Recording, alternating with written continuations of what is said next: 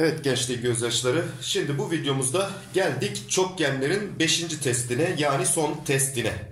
Hemen bunu da bir gömelim. Sonra dörtgenlere geçip onları da hızlı hızlı çözmeye çalışalım. Evet ilk sorumuzda başlıyoruz dostlar. Şöyle ayarlıyorum birazcık parlatmaya çalışıyorum. Hemen bakalım ne diyor ilk sorumuz. Düzgün beşgenin merkezi O noktasıdır. Tamam. CF 2 ve 3 diye şöyle parçalanmış oralar. Bize de diyor ki alan ABCDE yani beşgenin alanı bölü OFDE yani yeşil bölge bölü tüm alan arasındaki oranı istiyor bizden. Şimdi dostum bu soru yine üniversite sınavında da soruldu. Daha önceki yıllarda da soruldu. Bu 2019 yılında da galiba ya geçen sene ya da ondan önceki sene de böyle bir soru çıktı. Düzgün beşgende alan sorularında daha doğrusu düzgün beşgen değil. Düzgün altıgen, düzgün yedigen, sekizgen, ongen hangisi olursa olsun şöyle merkezden hemen düzgün çokgenin bütün köşelerine şöyle üçgenleri çiziyorum arkadaşlarım bakın. Ve karşıma 5 beşgen olduğu için 5 adet üçgen çıktı ki bu 5 adet üçgenin de alanı her zaman birbirine eşit olacak. Bu altıgen de olsa böyle olacaktı. Yedigen de olsa böyle olacaktı arkadaşlarım. Kaçgen olduğunun önemi yok. Buradaki üçgenlerin alanları 5 üçgenin de alanı birbirine eşit. Şimdi bunu ben şuradaki oranı verilen üçgenle başlayarak e, içlerine alanlarını yazıyorum. Bak 2'ye 2A düşürelim. Hemen şununla yapayım. 2'ye 2A, 3'e 3A düşürdüm. Dolayısıyla bir üçgenin içine 5A düşmüş oldu arkadaşlarım. O halde şu üçgene de 5A düşecek. Buna da 5A, 5A ve 5A düşürdük. Toplam tüm alan ne oldu dostlarım? 5 tane üçgen var. Her birine 5A dediğim için 25A oldu. Yeşil bölgenin alanı ne oldu? 8A. Demek ki cevabım 8 bölü 25 olacak. Ha benden tam tersini istiyordu. Tamamı bölü 8'i istiyordu. O yüzden cevap Bursa'dan geldi. Evet 2 numaradayız. Düzgün sekizgen görüyoruz soruda. Bir kenarını kök 2 birim vermiş. Hemen düzgün sekizgenin özelliğini hatırlayalım. Düzgün sekizgenin bir iç açısı 135 dereceydi ve U kuralından şurası 135 ise buraya da 45 derece kaldı. Aynı şekilde burası da 45. Şu bir kenarı kök 2 verdiği için burada kök 2. Hemen ikiz kenar yamuk özelliğinden şuradan diklikleri indirdim. Şu arada kök 2 oldu. Şunlara bakın şimdi arkadaşlarım. Şimdi şurası da kök 2 idi. 90'ın karşısı kök 2 ise 45'lerin karşısı 1, 1 olacak. Aynı şekilde burada da 90'ın karşısı kök 2 ise 45'lerin karşısı 1, 1 olacak. Bakın aranan uzunluk kök 2 artı 2. Yani Bursa şıkkımız doğru cevap geldi. 3 numaralı sorudayız. Bakalım ne diyor? Alan ABK, ABK bölü LCD. Evet şu iki bölgenin alanlarını istiyor. Şimdi şunu yapalım bir de. Oranı yerleştirelim. DL, LE'nin iki katıymış. K'ya 2K diyelim. BK ile de KC eşitmiş. Şimdi burası da toplam 3K olacak. 2'ye böldüğü için 3K bölü 2, 3K bölü 2. Böyle yapmaktansa şunun biz 2 katını alalım dostlar. 2K diyelim, 4K diyelim. Bir kenar 6K olsun. O halde burası 3K, 3K diye de parçalansın. Şimdi dostlar buradan sonra şu iki bölgenin alanını arıyoruz. Tabii ki bunların açıları birbirine tıpatıp aynı. 108 burası, 108 de burası. Şuraya 6K diyelim. Şuraya da 6K diyelim. Şimdi şöyle bir pratik yol öğretmiştik. Açıları tıpatıp aynıysa iki üçgenin hemen şunu yapacaksınız. Kenarlarını çarpın. 6 kere 4 24A bunun alanı olur.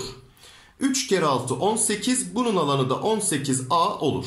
İşte bu şekilde daha kolay bulabilirsiniz dostlarım.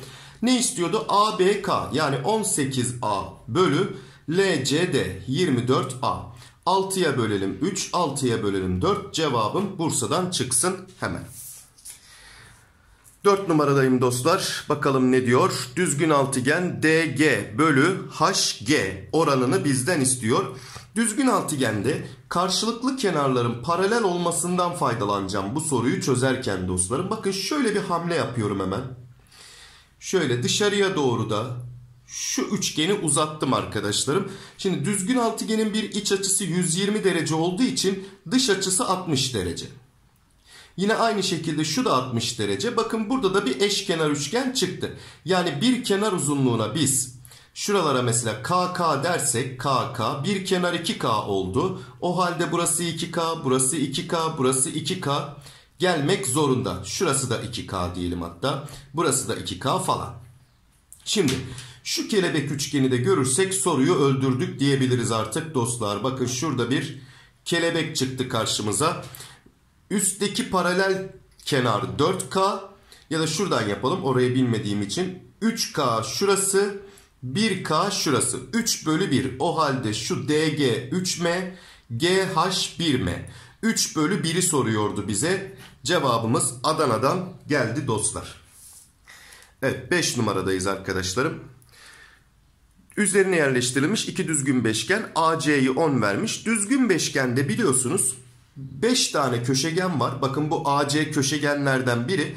5'i de birbirine eşit. Düzgün beşgende bu köşegenlerin eşitliğinden faydalanırız dostlarım. Buna göre de diyor ki CF ile DG'nin toplamı. Şimdi şu açı düzgün beşgenin bir iç açısı 108'di. O halde şuraya 72 kaldı. Yine bu da 108'di. O halde buraya da 72 kaldı. Bakın bu bir ikiz kenar çıktı. 72 72 144 şuraya 36 kaldı. Dostum şimdi şu CE köşegenini çizsek biz. Bu da 10 santimdir. Bu burayı hemen 36 36 olacak şekilde böldü ve bak karşımıza ne çıktı? Şu açı kaç dereceydi? 72. Şu açıyı kaç derece bulduk? Yine 72. O halde şununla şuradaki CF ikiz kenardır. Demek ki CF'yi 10 bulacakmışım ben. Şimdi DG'yi bulmak için de aynı işlemi yapacağım. Şu köşegeni çizeceğim bu sefer. Bakın şuradaki üçgene odaklanacağım dostlar. Şu üçgene. Şimdi şurası yine 36'dır. 36 72 ise burası da 72 olacak. Dostum yine ikiz kenar çıktı. Bu 10 birimse bu da 10 birimdir diyeceğiz. Köşegenler eşitti. O halde buna da 10 diyelim. Toplamları da 20 oldu diyelim. Evet 6. sorudayız. Bakın aynısını 4 numarada da yaptığımızı görüyorum. Bu artık gözünüz şekli alışsın. Düzgün altıgenin böyle dışına doğru küçük bir üçgen çizildiğinde kelebek üçgen yapmayı hemen aklınıza getirin. Onun için de şöyle yapsam olur mu diye düşünüyorum. Yine şuradan bir dışarıya eşkenar üçgeni çizsek evet oluyor dostlarım. Şunlara K, K bir kenar 2K ise bu da 2K, bu da 2K, şurası da 2K'yı söyleyip bu neden eşkenar oldu bu A dışarıya çizdiğim üçgen bunu anlamadıysanız dostlar dördüncü sorunun çözümüne bir daha bakın. Orada anlatmıştık. Şimdi bakın bu kelebek üçgenden de soruyu çözelim. Şurası 1K, şurası 3K. Yani 1'e 3 oranı var. O halde 4 ise burası 3 katı olacak burası da 12. Demek ki 4K 12, K 3, K 3 ise bir kenar 6 birim geldi. Demek ki X de 6 birim olacak dedik dostlar. Evet hemen 7. sorumuzla devam edelim bakalım ne diyormuş. Aşağıda ABC üçgensel bölgesi biçimindeki bir kağıt verilmiştir. Tamam. Bu kağıt bakın şöyle katlanıyormuş dostlar. Biz şimdi şunu hemen şu C'yi de buraya getiriyormuş. B'yi de buraya getiriyormuş. Bu şekilde katlıyormuş. Biz katlanmadan önceki hallerini de bir çizelim bunların. Şöyle bir şeymiş. Katlanmadan önce şuraya gelmiş. B buradaymış dostlar. C buradaymış. C katlanıp buraya geldi. B katlanıp buraya geldi. Şimdi tabii şu da bizim kat çizgimiz. Tam ortadan ikiye bölecek bu. Dik olacak da her zaman. Ne diyor şimdi başka? Katlanıyor. Daha sonra oluşan şekilde 6 eş 6 şekil birleştirilip şöyle bir şey oluşturuluyor ve BC'yi 12 vermiş bize. Şimdi BC 12 ise şu kısmın 6 olduğunu biliyoruz artık. Şu kısmın da 6 olduğunu biliyoruz dostlarım biz. Bir de şunu fark edin arkadaşlar. Bakın şurasına K, K diyelim biz. Şu K katlanmadan önce buradaydı. Şurası yani buraya geldi. Burası 2K.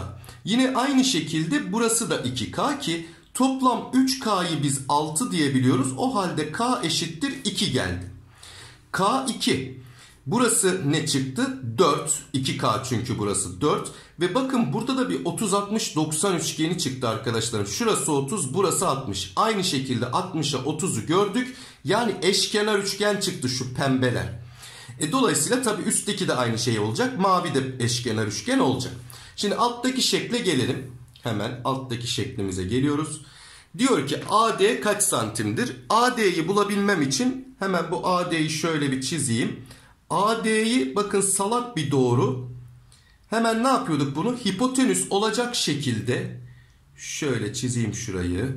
Şuradan da bir diklik indireyim. Hipotenüs olacak şekilde bir dik üçgen içine koyuyorduk. Peki pembenin bir kenarını ne bulmuştuk? 4. O halde şuraya 2 kaldı. Şurası 4 birimdi. 2 4 burası 2 kök 3 çıktı arkadaşlarım. Tabii ki şurası da 2 kök 3 burası da 2 kök 3 geldi. Yani toplam şurası 6 kök 3 oldu. Şimdi hemen şuradan da Pisagor'u çakalım soru bitsin. x kare eşittir 6 kök 3'ün karesi yani 36 çarpı 3'ten 108 artı 2'nin karesi 4. Demek ki x kare eşittir 112 x eşittir kök 112. 112'de nedir dostlarım hemen 16 çarpı 7 miydi bu da? 16 çarpı 7 16 dışarıya 4 diye çıkar. 4 kök 7 olur. 7. sorumun cevabı da Ceyhan'dan gelmiş olur böylelikle. Evet 8 numaralı sorudayız. Aşağıdaki şekil çevresi 48 birim olan düzgün altıgen ile 6 adet eş ikiz kenar yamuk kullanılarak oluşturulmuştur. He. Şimdi mavilerin her mavi düzgün altıgenmiş ve çevresi 48. O halde bir kenarının 8 olduğunu söyleyelim şöyle hemen. 6'ya bölünce tabii ki 8 olur. Doğru yaptım.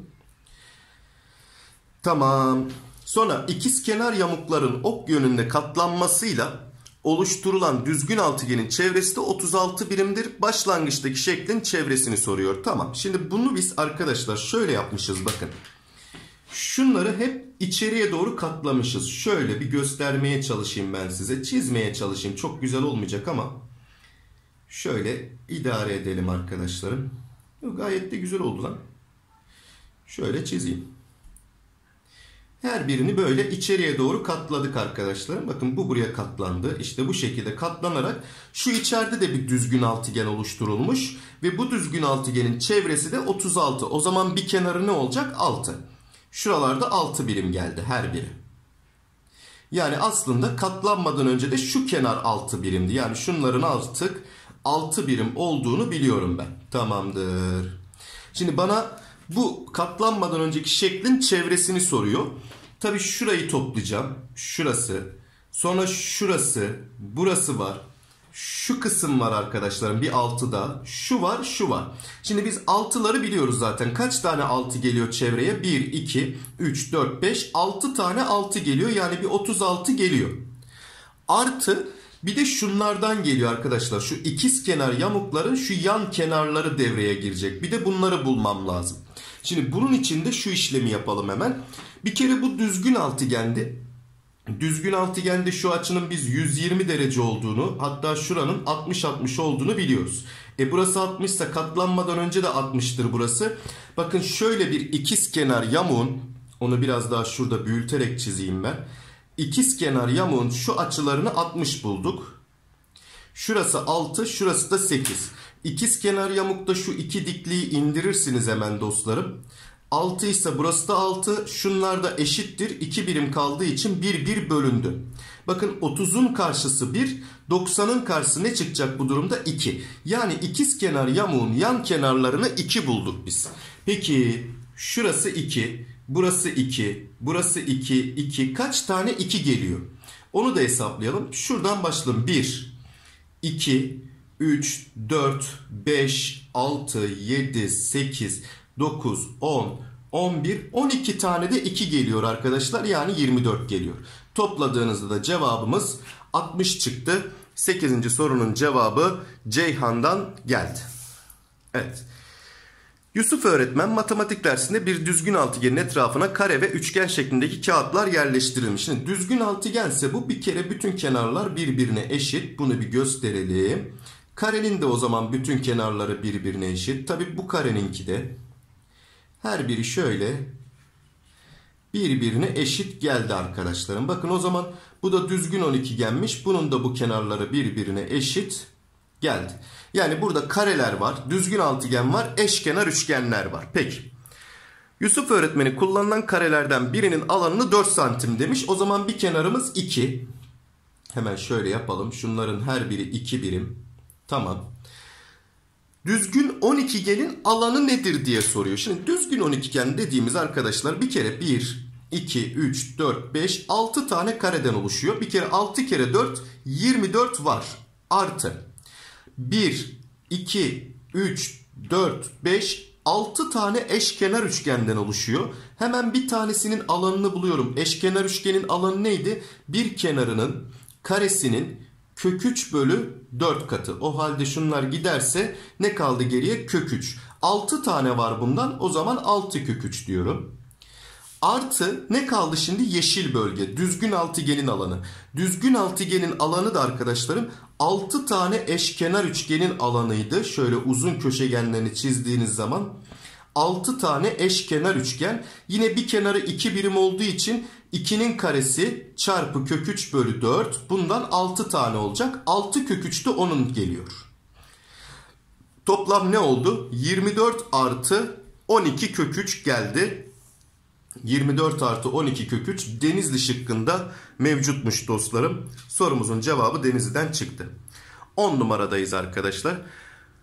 Düzgün beşgen. Bakın iki tane köşegeni çizilmiş. Biz ne biliyoruz? Düzgün beşgende köşegenler eşit. Hatta bize BE'yi ne vermiş bakın alttaki şekilde? X vermiş. O halde burası da X, burası da X. Başka CD'yi Y vermiş. Burası Y, Y, Y, Y ve Y. Şimdi açıları da yerleştirelim arkadaşlarım. Şurası 108'di. Şuralar 36, şurası 72, 72, 36, 108 hepsini yazdık. Alan ABE, ABE bölü BCE, BCE. Şimdi bizden ABE'nin alanı bölü şu ortadaki üçgenin alanı isteniyor dostlarım. Bakın hemen bu ikisini sinüs alandan yazıyorum ben. Üstteki üçgenin alanı 1 bölü 2 çarpı y çarpı y çarpı sinüs 108 bölü ortadaki üçgenin alanı şu 72'lik açıya göre yazıyorum. 1 bölü 2 çarpı y çarpı x y çarpı x çarpı sinüs 72. Şimdi sinüs 108 ile sinüs 72 birbirlerini 180'e tamamladığı için bunlar aynıdır gittiler. 1 bölü 2'ler gitti. Y'ler gitti. Ne kaldı geriye? Y bölü X kaldı. Yani cevabım Adana'dan geldi dostlar. Evet arkadaşlar bu videomuzun da sonuna geldik. Bir sonraki videoda dörtgenlere geçeceğiz. İyi çalışın lan. Evde kalın bir de bu arada. Hadi görüşmek üzere.